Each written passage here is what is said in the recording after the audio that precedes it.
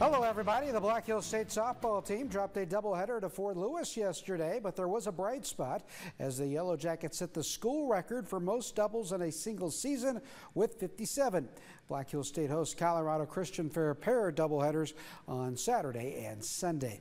We have some college football news to tell you about this evening as Ryan Freeman has been named South Dakota Mines' new offensive coordinator and wide receivers coach. Freeman brings over 10 years of college coaching experience to the job.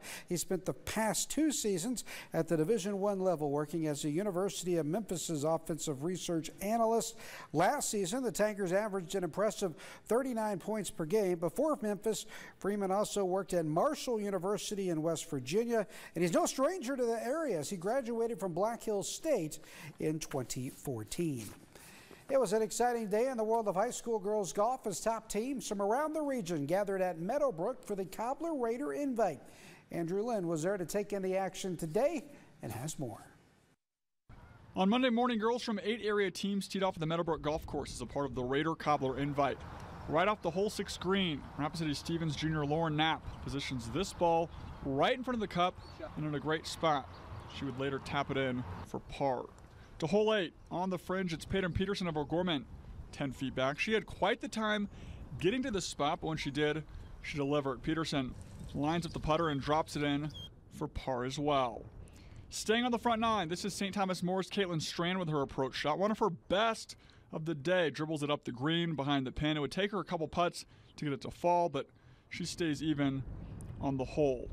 To the right of her on nine, we head back to Lauren Knapp of Stevens. Another well hit ball. This one just a little bit short still on the green. The junior would make par. Around the bend we go. On the back nine, Knapp drives her tee shot far right, but corrects it on the next shot. From the other side of the cart path, the Raider plays the ball off the hill. She would tap it in for par two.